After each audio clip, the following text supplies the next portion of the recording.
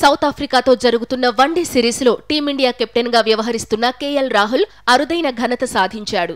December పదిహేడున జరిగిన తొలి వన్డేలో సౌత్ ఆఫ్రికాను చిత్తుగా ఓడించడం ద్వారా సౌత్ ఆఫ్రికాలో పింక్ వన్డే గెలిచిన తొలి భారత కెప్టెన్గా రికార్డుల్లోకెక్కాడు.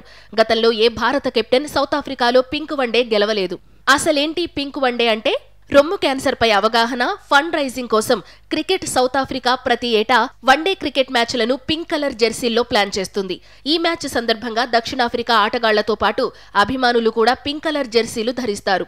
సౌత్ ఆఫ్రికా ఆటగాళ్ళు పింక్ కలర్ జెర్సీలు ధరించి ఆడే మ్యాచ్ను పింక్ డే వన్డే అని పిలుస్తుంటారు. ఈ మ్యాచ్ ద్వారా లభించే మొత్తంలో కొంత భాగాన్ని సీఏ రొమ్ము క్యాన్సర్ బాధితుల కోసం ఖర్చు చేస్తుంది. పింక్ వన్డే తొలిసారి రెండు వేల పదమూడులో జరిగింది. నాటి మ్యాచ్లో సౌత్ ఆఫ్రికా పాకిస్తాన్ను ముప్పై నాలుగు పరుగుల తేడాతో మట్టి కరిపించింది. నాటి నుంచి ఇప్పటి వరకు మొత్తం పన్నెండు పింక్ వన్డేలు జరగగా సౌత్ ఆఫ్రికా తొమ్మిది మ్యాచ్ల్లో గెలిచింది.